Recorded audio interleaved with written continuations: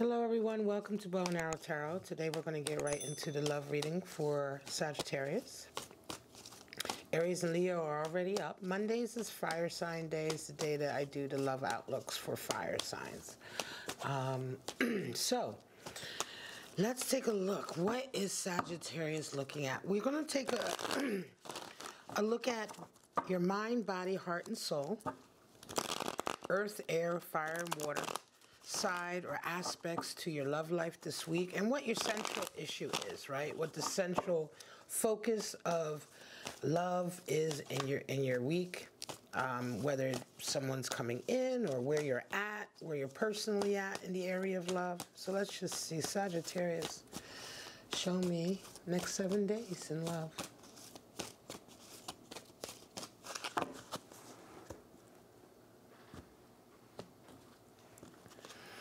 All right, so straight out the center we have the Hierophant, covered with the Seven of Swords, Five of Cups, Temperance, your card, Death, and the Page of Wands. All right.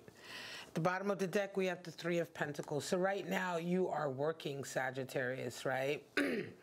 Work will help you temper your area, area of love, right? It could be um, we're going to get deeper into it, of course, um, but for Three of Pentacles to be there, you're doing, you know, right now you're putting a lot of your time and effort into your work.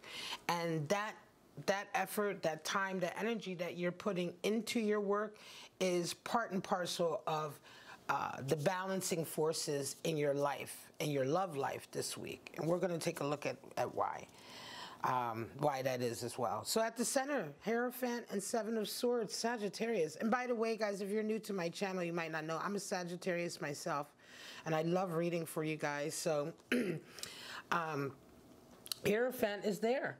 Seven of Swords is there. So we're talking about um, orderliness this week, right? Tradition.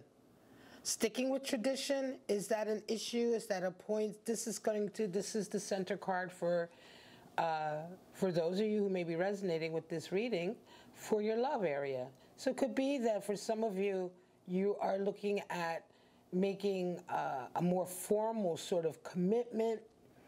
Uh, you may be dealing with sort of uh, uh, kind of like cultural or family responsibilities. You know, the Hierophant really represents um, it represents the spiritual world here on earth, but moreover, it represents our belief systems. You know, how we are raised, our tenets, our sort of principles, and then in the area of love, we have certain principles too. Some, for instance, believe that you need to get married. Some don't believe in marriage. You know, this is going to be different for everyone, but that's the area we're talking about. Very much sort of like whatever for you is sort of the accepted um, principle right that you want to adhere to in your love life. But you're covered with a seven of swords. So it's interesting because someone around you is not willing to put that effort in. There's a there's futility here right? So it could be that you have someone coming in sagittarius who, you know, while you're trying to sort of stay with your, you know, stay focused with your principles, your guiding morals, right? Um, someone is bringing in sort of a much more, I want to say, treacherous energy, right? I mean, Seven of Swords is the card for treachery. It's also a card for futility. It comes from someone who isn't willing to put the work in. They'd rather covet take what they want, right? It's the thief in the night. So you have some shadow energy here coming in over over you wanting to try to sort of maintain this stability in what you you know what you believe in and what you believe your you know uh, is important to your love life right? Because Hierophant's going to represent different principles and morals for different people, but that's the essence of it. Now, in your body and mind, you here we go. We've got some more.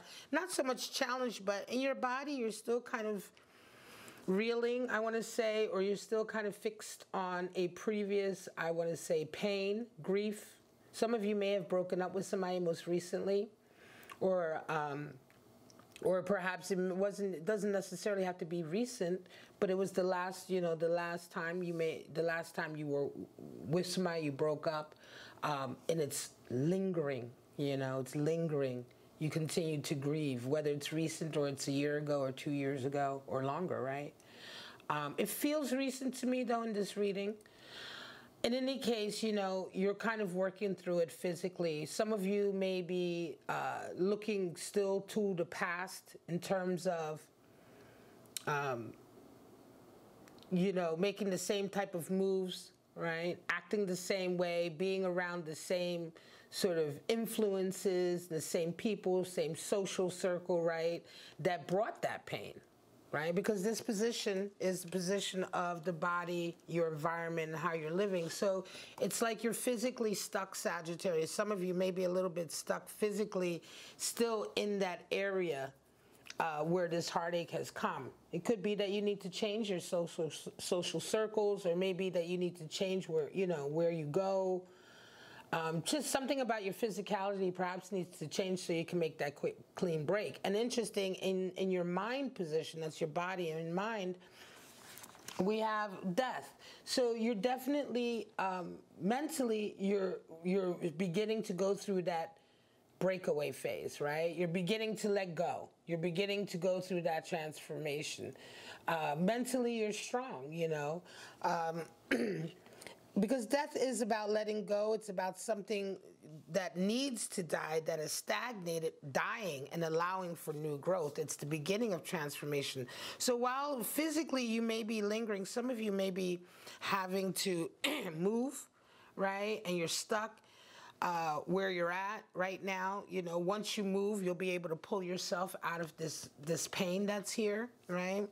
Um, physically, you may be moving cities or homes or what have you, but mentally, you've made the break. Could be also for some of you even a marriage because Hierophant can represent marriage and institutions like that. um, so it could be that for some of you, you've a marriage has already broken up or a long-term relationship has already broken up right? Um, but you're kind of going through the physical pulling away now. Mentally you've pulled away but there's a futility there. Something is going on sagittarius. I'm to pull another card with that seven of swords where it feels a little bit like it may it may be that there are some energies you feel like are working against you against you being able to move away from the environment that continues to cause you this pain. Um, heart and soul. In your heart, you're remaining tempered, and temperance is a card for Sagittarius. So you're remaining true to yourself. You're you're you're really tapping into those natural Sagittarian abilities to remain like a rock internally, despite the fact that you have so much going on around you. And this again speaks to a situation that emotionally is difficult. Again, you know, Hierophant is at the center. It's almost like your faith is being tested here, right? But you're going through something a little difficult, and this futility that's covering you, you need to have this temperance, right? You need to have the temperance because the futility isn't from you. Sometimes you just have to go through the obstacles and you just have to go through right? It feels as though every, you know, it's a futile effort. It feels as though something is blocking your way, but remaining tempered and staying within that strong Sagittarian energy, energy emotionally is going to allow you to ride this rocky, rocky period. Spiritually, though, Page of Wands, you're ready to soar spiritually, right? And this is really good. It feels healthy and good to me because mentally you've made that break. Emotionally, you're strong. Spiritually, you have fire. You're, you're courageous. It, it, you haven't given necessarily up on love or up on uh, having love in your life or anything like that, you're ready to start something new. And you're also ready to kind of follow your heart again and follow your passion. It feels to me, again, Sagittarius, like this is a reading for a Sagittarius who's gone through a breakup. Uh, once again, I perhaps it feels to me fairly recent. Okay, it might be like the last six months to a year. And right now you're going through you know, every other part of you has kind of begun to move on mentally, emotionally, spiritually, but physically, you're still stuck, right? Physically. And I don't think that that is through any, uh, any fault of your own. Um, it is you know, it can be that uh, you may have a responsibility there for some of you. You may be like, you know, there's some kind of tie there that's that's making it difficult physically, and that's tying into the heartache of the breakup, right? Show me uh, what's going on. Let's get some clarifiers, Sagittarius, for the next seven days. And this is where, uh, before I go on, this is where this bottom card really plays in Three of Pentacles because by putting your energy into your work, right? And really putting your mind, body, and soul into that, you are going to become, you know, you are going to also that have the fortitude, you know what I mean? Rejuvenation. You'll be rejuvenating yourself by having that positive feedback from working, getting positive feedback from your work, and all of that energy is going to very much help you in this situation, right? Because right now you're still, and certainly you'll need the money from that to help in this physical area. Show me uh, Sagittarius now, four more cards.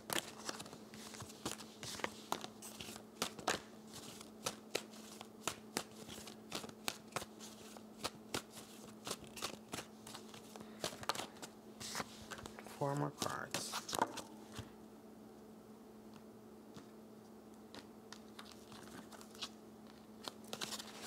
All right, body. Hmm emotions, to heart, mind, soul. All right, there we go. So you know you're blessed right now, right? You do have blessings in your life. Nine of Cups can be, you guys probably, Sagittarius is, this Sagittarius probably have strong family ties, fam, uh, friendship ties. You have blessings. You have good, strong relationships in your life that uh, will be helping you get through this. But that one little pull is still pulling you. And of course, that is, you know, again, it feels like a marriage breaking up, a long-term relationship breaking up.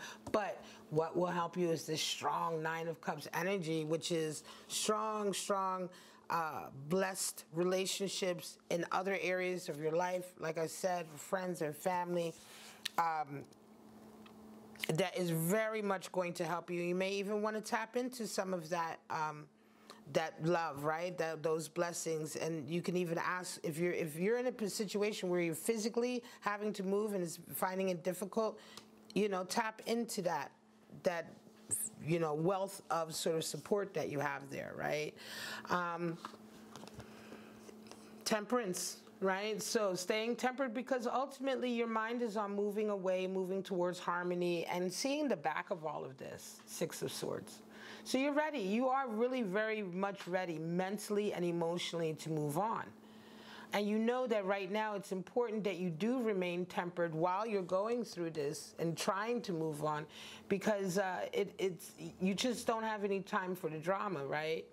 Six of Swords is like remaining focused on harmony, balance, right? Moving away from the things that have hurt you and the trouble and the strife and moving much more uh, intentionally towards harmony and harmonious relationships.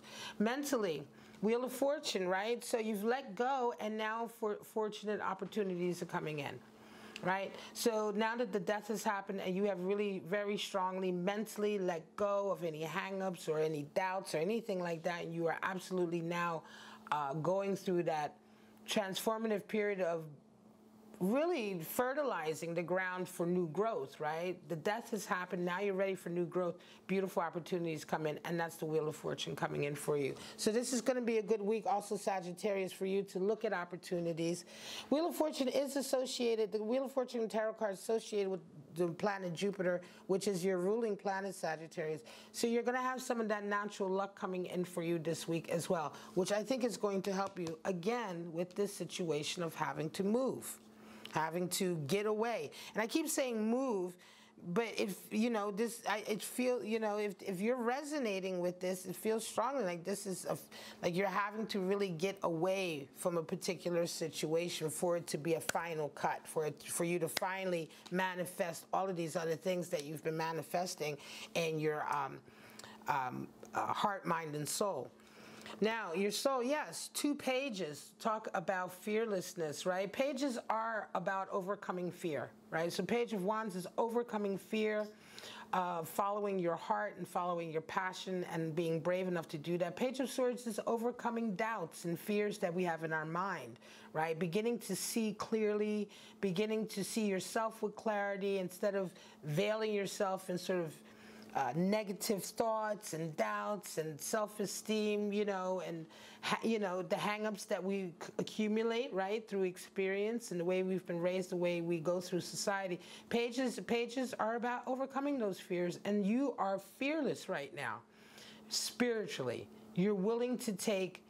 Uh, the you know you're willing to take a chance on an adventure and you're clear about your ability to succeed you feel positive. And this is beautiful. It just simply is that this area here is your is your struggle. Like I said, and this week is going to feel like you have that Seven of Swords, so there's some futility there coming in, right? The Seven of Swords can also be people coming in with certain ideas, you know, arguing maybe a little bit with you, or just distracting you in some way, right? Um, from what you need to do.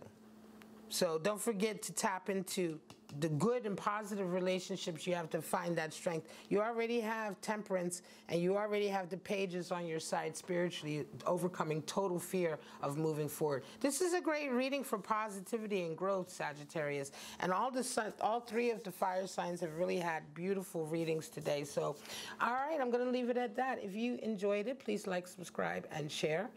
Um, don't forget to check out the other videos. These are for these love uh, readings are for those who are in that sign, Sun, Moon, Venus, Mars, or rising. So if you have a strong uh, Leo, if you have a Leo component in your chart, you have Mars and Leo or Leo rising, you might want to check that reading out. That might resonate with you as well. All right, guys, but for right now, have a wonderful week, and I shall see you at your next reading. Bye bye, Sagittarius.